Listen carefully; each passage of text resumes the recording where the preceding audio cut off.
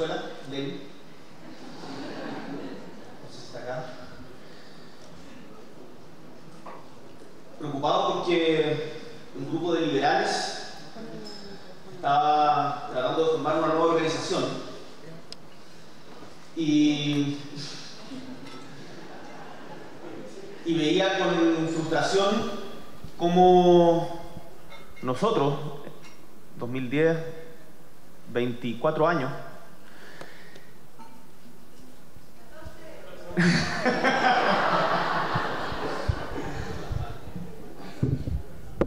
Sentía en ese momento que la historia se nos pasaba y que no éramos capaces de organizar esas voluntades colectivas o, ese, o esa rabia profunda que sentíamos frente a unas desigualdades que nos quemaban, pero que no sabíamos muy bien cómo abordar. Me dijo algo así como, se diría hoy día, en su respuesta, no te preocupes, se vienen cositas de otra manera, por supuesto. Y después del 2011, en donde con muchos de ustedes seguramente marchamos, cuando la Yogi Roa, Giorgio y otros nos cuentan que están trabajando en hacer un partido,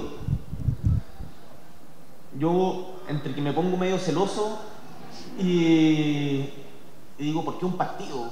Se van a meter a la asamblea de la burguesía. Y...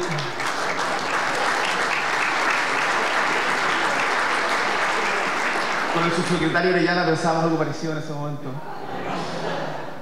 Y, y fueron muy valientes. Fueron muy valientes. Fueron muy valientes porque en un momento en donde para poder disputar o cuestionar a un sistema que nos incomodaba, no eran muy claras las alternativas, ustedes como Revolución Democrática se atrevieron a crear algo nuevo.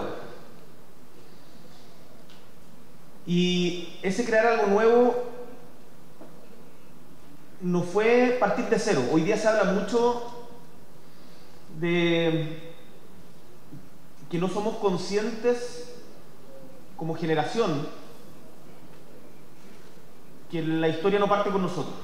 Yo quiero decir que eso es un error, porque Revolución Democrática, hoy día Convergencia Social, Comunes, vienen y nacen de las luchas sociales. Y si nacimos de las luchas sociales, no nacimos cuando nacimos. Estamos profundamente imbricados y hemos aprendido y somos de alguna manera herederos de las luchas del pueblo chileno que han permitido estar donde estamos hoy día.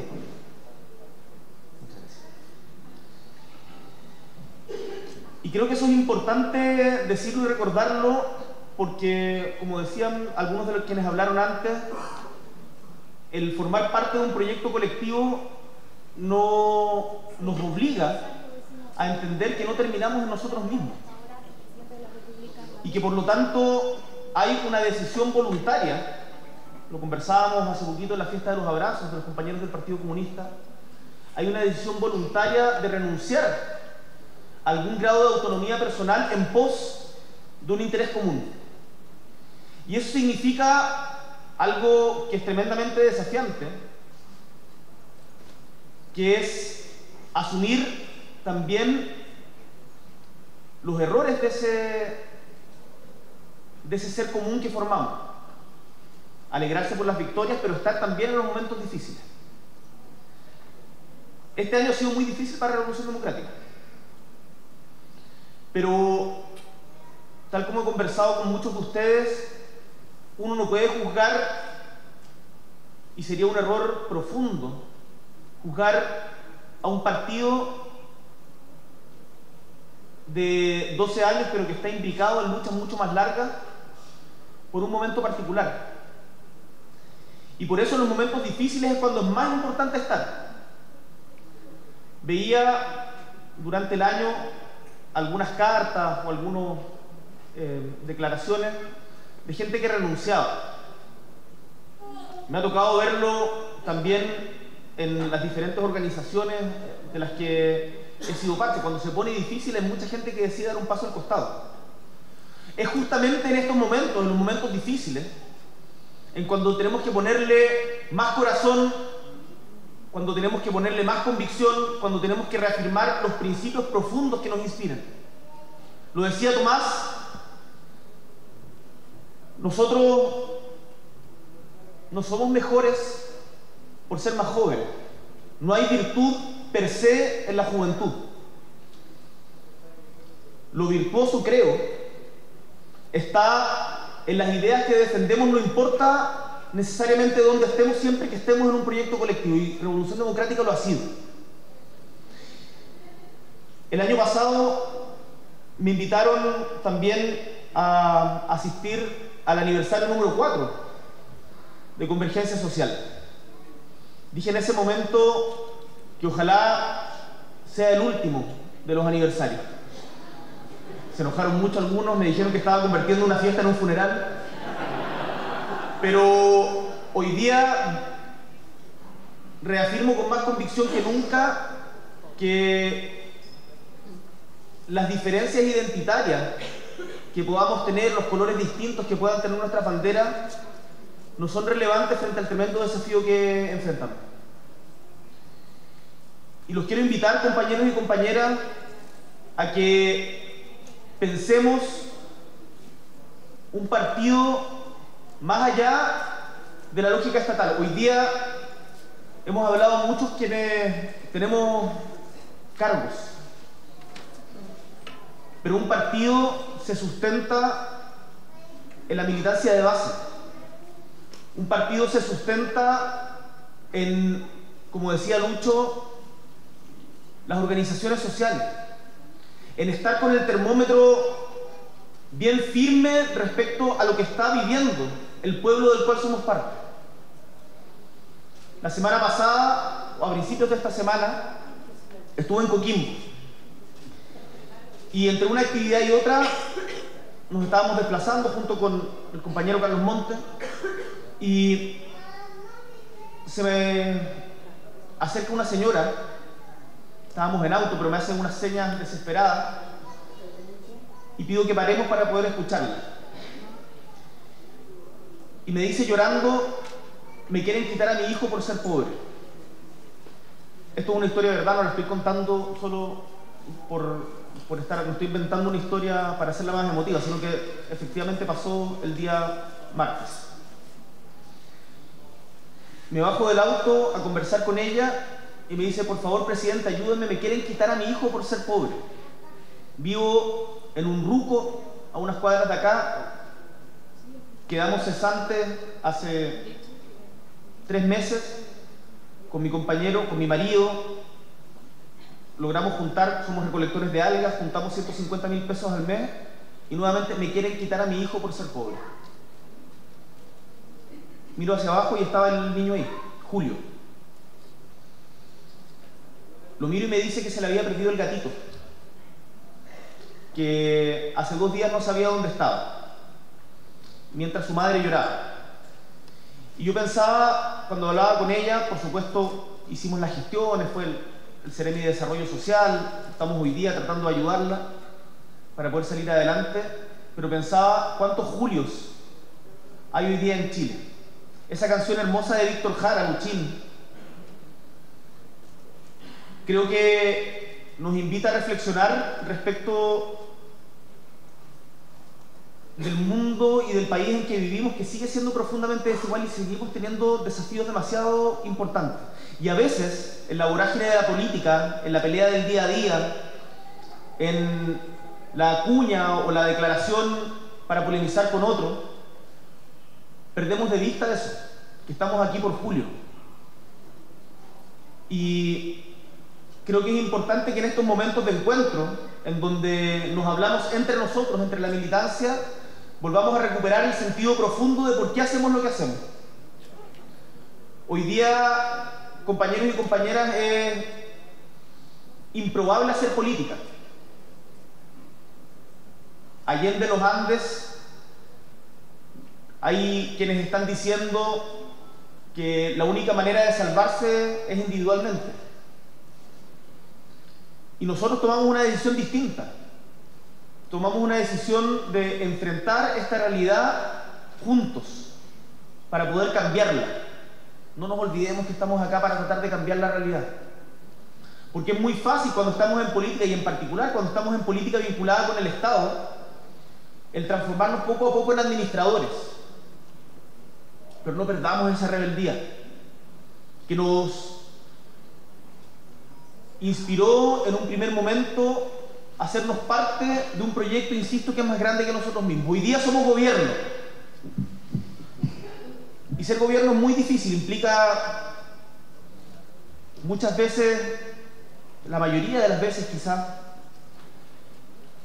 estar atendiendo urgencias o haciendo cosas que no nos imaginábamos cuando éramos oposición o cuando estábamos en la calle. Pero estamos siendo gobierno para mejorarle la calidad de vida de nuestro pueblo y creo, compañeros y compañeras, que lo estamos logrando. Me ha tocado ver alrededor de Chile, en cada una de sus 16 regiones, cómo la pega y el trabajo de los militantes está cambiando realidades. Y los invito hoy día a que, como decían los alcaldes, no perdamos de vista que para eso vinimos acá. Yo estoy profundamente orgulloso de lo que en conjunto hemos construido. Lo que hemos construido no ha sido gratis. Lo que hemos construido ha sido improbable. Veo ahí atrás la foto de Beatriz, Beatriz Sánchez, y le agradezco profundamente la valentía a mujeres que como ella dieron un paso adelante cuando era más fácil decir que no. Son varios de ustedes en sus diferentes dimensiones, en sus diferentes trincheras, que han decidido dar ese paso adelante. Y en los momentos duros, como el que ha sido este año, los invito y los insto a que reafirmemos las convicciones que nos trajeron inesperadamente hasta acá.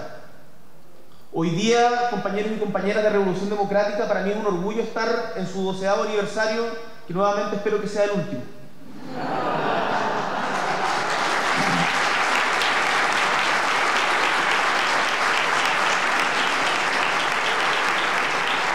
Porque solo, porque solo la unidad y no la dispersión de las fuerzas transformadoras nos va a permitir cambiar efectivamente una realidad que nos sigue doliendo. Y una unidad, lo decía Diego, que no se limita solamente al Frente Amplio. Estuvimos mucho tiempo peleando con partidos que hoy día están aquí presentes. Estuvimos muchas, mucho tiempo diciéndonos o cuestionándonos, incluso a nuestra misma existencia.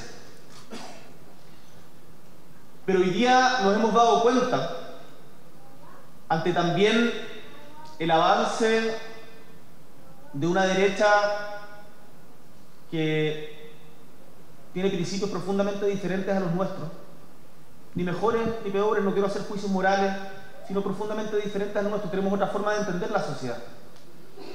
Que si no trabajamos juntos, vamos a desaparecer. O nos vamos a convertir en menos administradores. Por eso quiero reforzar también en este momento un llamado a la unidad. Hablaba en un comienzo que ser parte de un proyecto colectivo implica necesariamente renunciar algún grado de autonomía personal. Y ser parte de una coalición también implica lo mismo.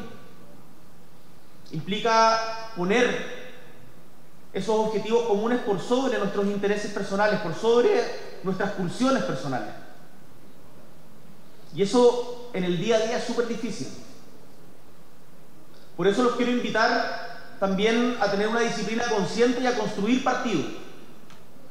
Hoy día, construir partido, más allá de lo estatal, más allá de los cargos, más allá de la disputa de la próxima elección, es algo tremendamente complejo. Pero estoy profundamente convencido que es solo la política colectiva, el accionar colectivo lo que nos va a permitir construir una patria más justa, una patria en donde todos tengamos el mismo derecho a ser felices independiente de donde hayamos nacido. Hoy día, compañeros y compañeras, insisto, me siento orgulloso de estar con ustedes, de ver sus banderas verdes, de pensar en estos 12 años que han sido de construcción, pero que vienen de mucho más atrás. Lo representa en alguna medida también quienes están aquí presentes. Lo representa un Jorge Arrate.